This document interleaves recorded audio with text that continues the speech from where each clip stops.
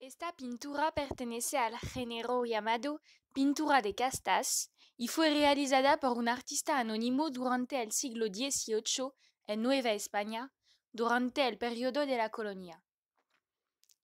A primera vista, parece ser un manual para entender la compleja sociedad latinoamericana, porque describe las diferentes combinaciones del mestizaje entre españoles o españolas, indios o indias y africanos o africanas.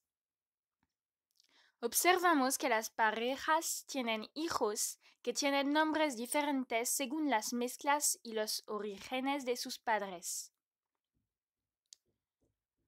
También notamos que este cuadro establece una jerarquía entre las castas, es decir, las clases social y étnicas, y da una clara superioridad a los españoles.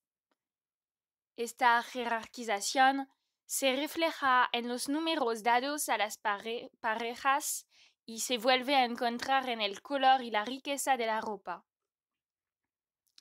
Conforme avanzamos, vemos que las parejas son más pobres y practican actividades manuales. Para concluir, es significativo ver que los nombres dados a las últimas castas son ridículos y humillantes, son la manifestación de la violencia simbólica de la sociedad colonial.